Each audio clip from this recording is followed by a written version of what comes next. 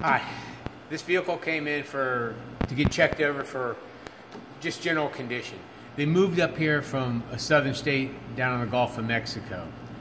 I had a really hard time getting this thing started just in the parking lot for it to just stay running.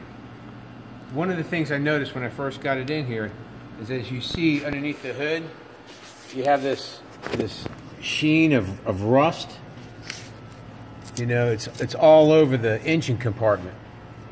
So I went right to the cooling system on it and I pulled it off. As you can see here, and it's very cold outside.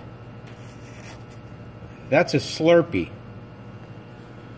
And all the rust and sediment in there, that cooling system is now ruined. There's nothing you can do to get all that sediment and rust out of the, the, the system because what will happen is it'll around the cylinders and the block that's so bad it probably has you know a quarter inch or more of just sediment lying in the bottom you know around the cylinders and you just can't get that out. The only way to get any of that out is to actually disassemble the motor and dunk it and, and nobody's going to do that.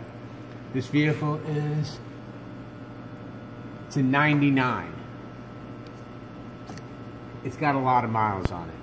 I guess somewhere down in, in, in the south, they just used water instead of antifreeze. Uh, that's still not a very good idea. Right now, it's really cold outside. We're in the, the coldest streak we've been in in Northern Virginia in a long time. You really, really need to make sure that your cooling system's up to par, you know, in the winter. And even if it has the the long-lasting antifreeze, if your car's got around 50,000 miles or so, yeah, it's supposed to last to, to 100,000, but all that means is 50% of it's worn. And if it's five years, 50,000 miles, it really is, doesn't make any sense to, to not get that cooling system flushed and get some fresh stuff in there, especially since it's so cold right now.